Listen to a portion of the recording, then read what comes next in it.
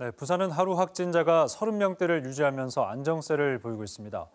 방역 당국도 추석을 앞두고 확산세를 꺾기 위해서 안간힘을 쓰고 있는데요. 특별 방역 대책은 연휴가 끝나는 오는 26일 일요일까지 적용됩니다.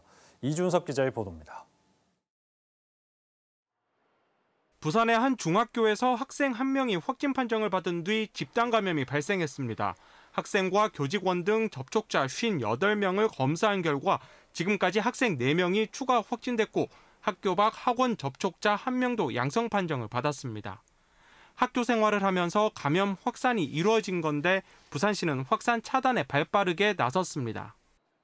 교내 확진자 발생에 따라 추가 역학 조사를 진행 중이며 확진된 학생들이 동선에 해당된 다수의 학원에 대해 조사 예정입니다.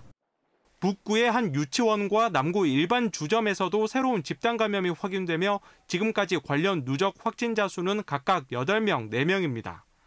상대적으로 안정세를 유지하고 있지만 추석 연휴를 앞두고 있는 만큼 긴장할 수밖에 없습니다. 부산시는 부산 서부 버스터미널 인근 임시 선별검사소 등 4곳을 비롯해 16개 보건소 선별진료소를 추석 연휴 기간에도 운영하기로 했습니다. 출발 전 예방 접종과 진단 검사를 받으시길 권고합니다. 귀가 후에는 일정 기간 다중 이용 시설 출입을 자제하시고 집에 머무르시, 머무르시길 바라며 일상생활 복귀 전 진단 검사를 받으시길 적극 권고합니다. 특히 오는 26일까지 요양병원과 요양시설의 면회가 허용됩니다. 하지만 입원 환자와 면회객이 모두 예방접종을 마친 경우에만 접촉 면회를 할 수 있고 그 외의 경우는 비접촉 면회만 가능합니다. KBS 뉴스 이준석입니다.